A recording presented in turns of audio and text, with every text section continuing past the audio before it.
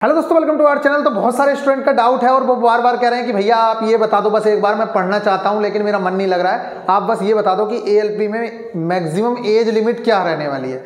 देखिए, मैं आप लोगों को पहले भी बता चुका हूँ, एक बार मैं फिर से बता रहा हूँ। ए में जो एज लिमिट है, पिछली बार 28 साल का पहली बार में नोटिफिकेशन आया था। फिर बच्चों ने कुछ हल्ला उल्ला किया ट्वीट ट्वीट किए उसके बाद नोटिफिकेशन 30 साल का हो गया था। ये निश्चित बात है अनरिजर्व कैटेगरी वाले 30 साल तक फॉर्म फिल कर पाए थे। तो इस साल क्या होने वाला है? तो मैं आप लोगों को बहुत अच्छे से बता दूँ, जिस तरीके से यूपी पुलिस में छूट मिली है, ठीक इसी तरीके से सीजीएल में भी छूट मिली जीडी में भी मिली, हर जगह छूट मिली थी। तो आप लोगों को भी पाँच साल बाद वैकेंसी आ रही है तो निश्चित तौर से गवर्नमेंट ऑफ़ इंडिया या मिनिस्ट्री ऑफ़ रेलवेज आप लोगों को ये छूट देगी ही देगी।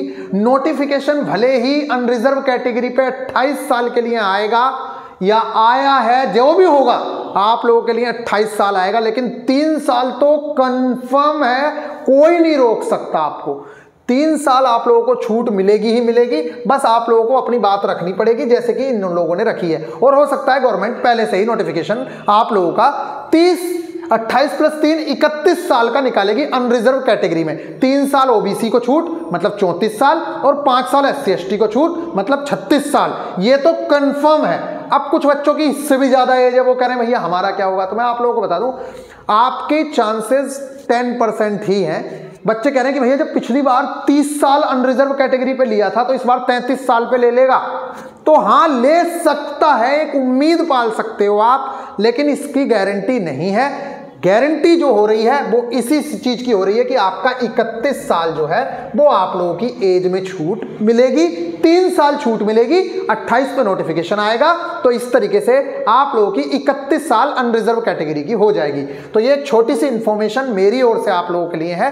बाकी आपका मन है, जो आप चाहें, जिस तरह से सोचना चाहें, वैसे सोचें, लेकिन रियलिटी यही है कि इकतीस साल वालों के तो चांसेस पूरे हैं, वो लोग करें तैयारी, लेकिन ये जो 33 साल वाले हैं, इसमें थोड़ा सा डाउट है। हाँ एक मुद्दा उठ सकता है कि, सर, पिछली बार आपने 30 साल वालों को अनरिजर्व में उठाया था, तीन साल की छूट दे दो 33 लेकिन ये बहुत नेग्लिजिबल सी बात होगी। तो क्योंकि उसमें भी ये कहा था कि ये जो छूट दी जा रही है, ये एक बार के लिए ही दी जा रही है, हर बार नहीं दी जाएगी। तो आई होप कि आप लोगों को ये बात समझ आई है। मिलेंगे फिर नेक्स्ट वीडियो में। ख्याल रखिएगा टेक केयर और प्रॉपर गाइडेंस के लिए बने रहिएगा। एक वीडियो आएगी और ये सिर्फ़ छूट इसमें नहीं ग्रुप डी में भी छूट मिलेगी आप लोगों को। और ठीक इसी तरीके से जितनी वैकेंसीज आएँगी, उसमें ये छूट देखने को मिलेगी।